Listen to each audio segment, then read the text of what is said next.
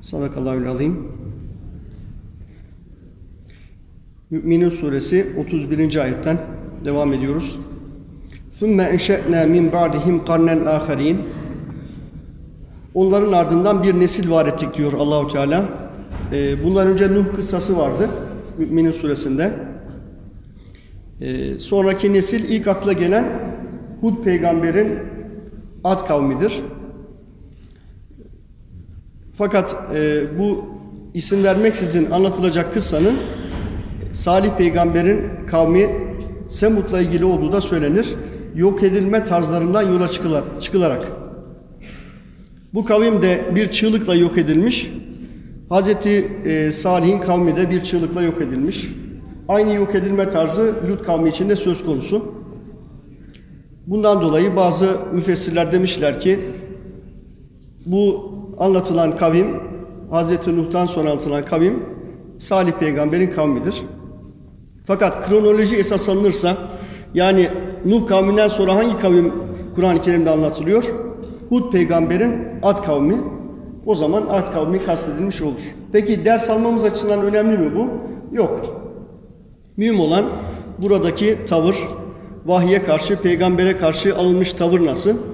Ee, peygamber onları doğru yola nasıl çağırmış? Onun örnekliği nasıl? Ee, mühim olan bu kısmıdır şimdi. فَاَرْسَلْنَا ف۪يهِمْ رَسُولًا minhum Onların içinden bir peygamber gönderdik diyor allah Teala. Niçin acaba içlerinden gönderilmesi uygun görülmüş allah Teala tarafından? İnsanlar yabancılardan pek öğüt almak istemiyorlar. İnsanlar yabancılara şüpheyle bakıyorlar. Bilinmezlikle kötülük arasında insanoğlunda bir irtibat e, kurma eğilimi var. Bundan dolayı olsa gerek genellikle gönderilen peygamberler kendi kavimlerinden, kendi kavimlerine İslam'ı anlatmak üzere gönderilmişler. E, fakat bazı peygamberler var ki onlar kendi kavimlerinin yanında başka e, kavimlere de anlatmışlar. Bir kavme gönderilen peygamberin başka kavimlere de anlatmasında bir sıkıntı yok. Zaten dinin tabiatı böyle bir şeydir. Peygamberler, Müslümanlar nerede fırsat bulurlarsa karşılarına kim gelirse gelsin, hangi kavimden olursa olsun onlara İslam'ı anlatırlar. Peki davetin konusu ne olmuş aziz Müslümanlar? Ene'budullâhe mâ min ilahin gayruh Allah'a ibadete çağırmış bu peygamber ve Allah'tan başka ilah olmadığına vurgu yapmış. Zaten tüm peygamberlerin davası budur. İnsanoğlu tek yaratıcısı olmasına rağmen, bunu da kabul etmesine rağmen Allah'a eş koşma eğilimindedir. Şeytanın saptırmalarından dolayı. Şeytanın da bütün mücadelesi bu alandadır. Bir ikilik ortaya çıkarmak. Evreni yaratan madem tek yaratıcı var, ona kulluk etmek gerekirken şeytan nasıl yapar eder insanın solundan sağından önünden arkasından yaklaşır ve insanları şirke yönlendirir. Peygamberler de ona karşı bir mücadele verir ve insanları da tevhid dinine, adalet dinine çağırırlar.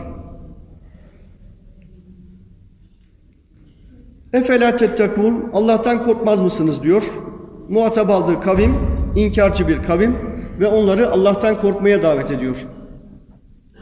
Kıymetli Müslümanlar biz de bu peygamberler gibi bir kompleks içerisine girmeyeceğiz asla. Aynı onlar nasıl İslam'a davet ediyorlarsa onlar gibi edeceğiz. İnsanlar ister Müslüman olsun ister gayrimüslim olsun fark etmez.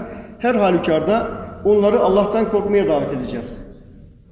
Görüntüde onlar bize e, İslam dinine inanmadıklarını, kabul etmediklerini, Allah inancı olmadıklarını söyleseler de fark etmez. Her halükarda diyeceğiz ki Allah'tan korkmuyoruz. Belki yüzümüze o inkarcı tavırlar sergileyecek, alay edecek. Ama yalnız kaldığı zaman gerçeği o da biliyor.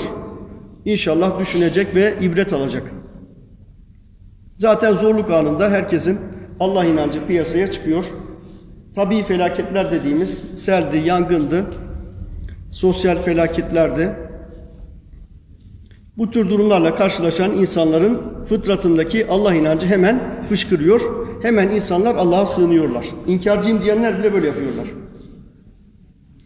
Ve kâlel mele'u min kavmihillezîne keferû ve kezzebû bi liqâ'il âhire. İleri gelenler dedi ki, Nuh kıssasında da böyleydi. İleri gelenlerden e, inkarcılar itiraz ediyorlardı Hazreti Nuh'a. Bu kavimde de benzer bir durum var. Fakat Allahu Teala biraz daha ayrıntı veriyor burada. Nasıl ileri gelenler? El mele'u min kavmihi onun kavminden ellezine keferu kafir olan ileri gelenler ve kezzebu bi liqa'il ahire ahiret buluşmasını inkar eden ileri gelenler. Yani hem e, inkarcılar aynı zamanda da ahirete de inanmıyorlar. Hesap vereceklerini kabul etmiyorlar.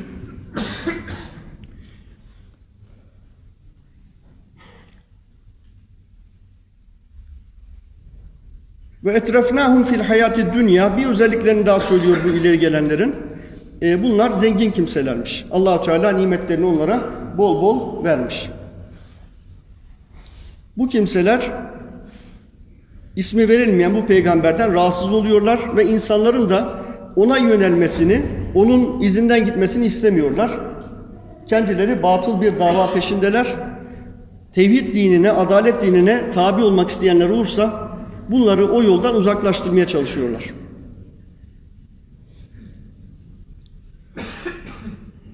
Ve etrefnahum fil hayati dünya. Bunlara sadece dünyada nimet verilmiş. Ahirette bunların bir payı olmayacak. Çünkü bunlar inkarcı kimseler. İnkarcı kimseler de ne kadar iyilik yapıyor olursa olurlarsa olsunlar. Çevre koruma faaliyetleri yapıyorlar, yetimlere sahip çıkıyorlar vesaire. Allah inancı olmaksızın insanların ahirette kurtulanlardan olması söz konusu olamaz. Allah inancından kastımız da Allah'a şirk koşmadan inanmak.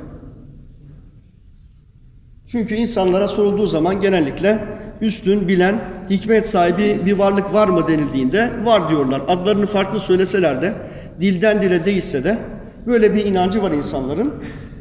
Problem o inanca başka inançlarda karıştırmalarında çıkıyor.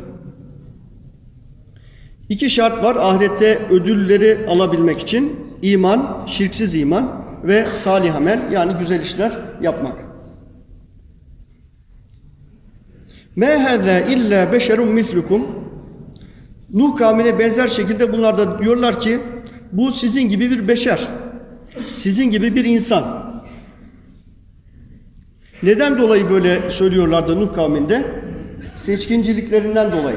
Yani biz sizin gibi değiliz, biz farklıyız, biz ileri gelenleriz, biz zenginiz, itibarlıyız vesaire. Sizle bizim aramızda bir fark var. Ha, bu peygamber de bizim gibi olamaz. Bizim konumuza asla gelemez. Toplumda söz sahibi olamaz. Ancak sizin gibi birisi o. Sizden bir farkı yok. Siz nasıl yönetilmeye mahkumsanız, idare edilmeye mahkumsanız hep sizin hakkınızda kararı biz vereceksek ha bunu değiştirmeye müsaade etmeyiz. Demek ki bunlar peygamberlerin mesajlarını çok iyi anlamışlar. Peygamberler hayatı cami ile ev ile iş arasına sıkıştırmamış kimseler. İleri gelenler bunu görmüşler, anlamışlar ve insanları da bundan uzaklaştırmaya çalışıyorlar. Niye? Zulüm düzenleri devam etsin diye.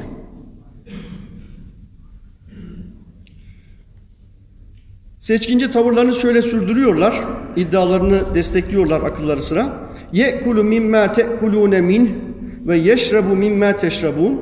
Sizin yediklerinizden yiyor, sizin içtiklerinizden içiyor. Bakın yine şöyle demediler, bunlar bizim yediklerimizi yiyor, bizim içtiklerimizi içiyor. Yani bu peygamber böyle bir peygamber demediler. Sizin gibi, sizin yediğiniz türden şeyler yiyorlar, sizin yediğiniz türden şeyler içiyorlar dediler. Yine burada bir üstünlük kompleksi kendisini hissettiriyor. İşte bu kibir insanların iman etmesini engelleyen bir şeydir. İnsanlar kendilerini diğerlerinden üstün görürlerse o zaman şeytanın tuzağına düşerler ve mücadeleyi yani şeytanla mücadeleyi kolayca kaybederler. Mütevazi insanlar ise allah Teala tarafından ödüllendirilir ve onların dünyada da ahirette de sevenleri çok olur. Onlar kuvvetli bir sosyal sermaye kazanırlar. Çok iyi çevreleri olur onların. Allah hepimize böyle insanlar nasip etsin. Böyle dostlar nasip etsin. Bu ileri gelen ve zengin olan, ahireti inkar eden kafirler sözlerine devam ediyorlar. Ve leyin eta'tum beşeran mislekum innekum izen le hasirun. Kendiniz gibi bir insana itaat ederseniz o zaman kaybedenlerden olursunuz diyor. Burada bir tehdit söz konusu. Sakın Müslüman olayım demeyin. Sakın Müslümanlarla beraber hareket edip e, edeyim demeyin. Dünyayı size dar ederiz. Ambargo uygularız, yasak koyarız, yol vermeyiz vesaire. Sizi engellemek için elimizden geleni yaparız. Yol yakınken bu davadan dönün. Peygamberin izinden gitmeyin. Nereden, neyin izinden gidelim? O zaman şeytan izinden gidin. Alternatifi bu. İnsan da şeytanın izinden giderse hem dünyada hem de ahirette kaybedenlerden olur.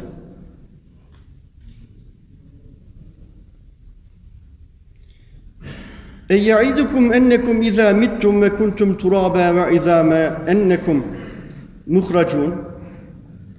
O size şunu mu vaat ediyor diyor. Ee, yani Müslümanları muhatap alıyorlar ve o peygamberin mücadelesini boşa çıkarmaya çalışıyorlar. Öldükten sonra siz toprak olduktan sonra artık kemiklere dönüştüğünüzde tekrar çıkarılacağınızı mı vaat ediyor o? Yani ahiret ahirete mi inanmaya teşvik ediyor sizi? Sizin ahirette ne işiniz olur? Bütün işiniz dünya ile ilgili olmalı. Bu batıl dava bunu teşvik ediyor. Halbuki bu dünya geçici. Hepimiz biliyoruz ki ittifakla bütün insanlık icma etmiş. Bırakın Müslümanları. İnsanlar ölüyorlar. Ve bu hayat kısa. Ama şeytan öyle bir e, çaba içerisindeki, öyle canhıraş bir mücadele veriyor ki bütün hesabınızı bu dünyaya göre yapın. Dünyadan ne kadar faydalanırsanız o kadar kardır. Peki peygamberler neye çağırıyor? Bu dünya geçicidir. Asıl kalıcı dünya ahirettedir. Akıllı insanlar neyi hesap ederler?